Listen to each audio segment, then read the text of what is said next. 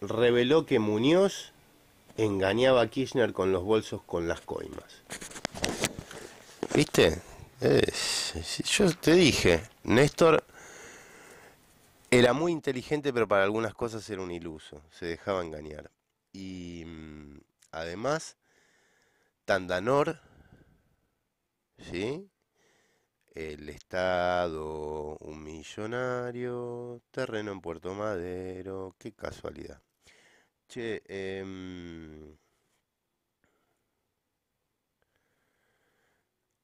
avanza una causa contra Lázaro Báez por lavado del Río de la Plata que Menem prometió que iba a hacer y no cumplió nunca.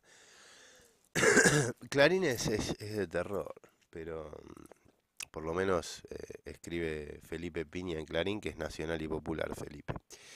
Em, bueno, en fin, no, no, ¿para qué vamos a discutir pavadas?